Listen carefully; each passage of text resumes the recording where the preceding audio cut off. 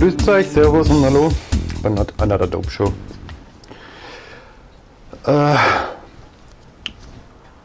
heute kommen sie, die, ähm, die Sprachregelungen, die wir früher genutzt haben, um am Telefon unsere Absprachen zu treffen. Es war nur eine kleine Gruppe, meine Kunden, ich und dort, wo ich eingekauft habe. Wir haben den ähm, Drogen Vornamen gegeben. Der Hansi war das Haschisch, die Maria war das Gras, der Emil war das Ecstasy, der Carlos war das Kokain und der Herbert, das war das Heroin. Jetzt, wenn ich zum Beispiel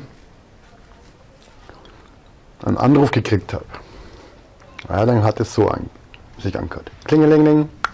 Ja, hallo? Ja, hi. Ich bin's, der, hm, hm, wie geht's? Wenn ich was gehabt habe, ja, mir geht's gut. Und wie geht's selber?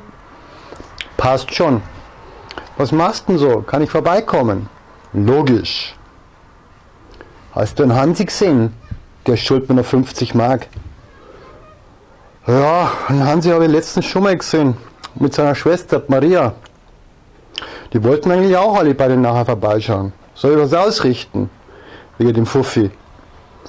Na ja, das war's auch schon. Ich wusste genau, der braucht was für 50 Mark und er möchte was zum Kiffen haben.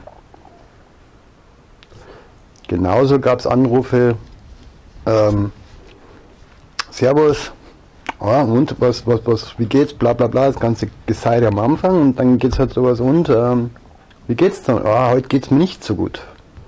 Ja, wieso das denn nicht? Naja, weißt du, der Hans, der ist nicht vorbeigekommen, wie er versprochen hat.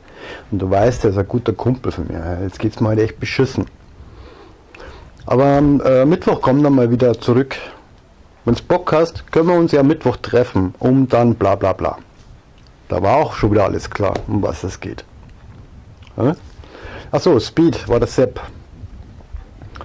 Du, der Sepp, der schuldet mir noch einen Hund.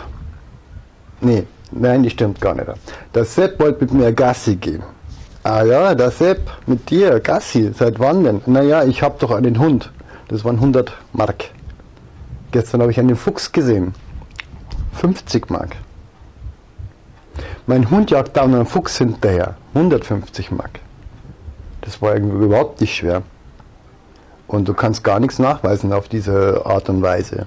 Ja, ich sag, du, äh, wie schaut's denn aus? Ist der Hansi bei dir? Äh, jeder kennt in München einen Hans, jeder kennt eine Maria oder einen Sepp. Und einen Carlos kannte ich auch wirklich aus der Breakdance-Zeit. Also hat das schon immer äh, stimmig funktioniert. Ja? Und meistens hieß es dann immer, schauen wir mal, dann sehen wir schon. Also diesen Spruch vom Beckenbauer, den habe ich damals schon benutzt. Schauen wir einmal, dann sehen wir das schon. Das war halt einfach lustig. Das fanden wir witzig, sowas zu sagen. Und damals hat man ja keine Handys. Ja, und später kamen dann diese Pager. Ich hatte so einen Pager, der hat immer gepiepst mit einer Nummer drauf. Wir hatten uns da auch Codes überlegt, was die 1, 2, 3, 4, was, welche Drogen sind und was die Zahlen dahinter bedeuten. Und dann kam meistens noch eine Telefonnummer, wo man anrufen soll, äh, um Bescheid zu sagen, wann man sich wo trifft. So haben wir damals kommuniziert nicht sowas wie ein WhatsApp, wo es halt dann, ja, hast du mal Brot? Ich brauche für 50 Euro. Wer kauft für 50 Euro Brot? Ja, Vollhongs. Jeder Trottel versteht diesen Code. Also ehrlich, ein bisschen Fantasie muss man schon haben, oder? Wenn man der Herbe Bert. Wir haben dann immer Bertel genannt, das Heroin halt. Das, äh, als was diese Schwämme war, das war schon hardcore.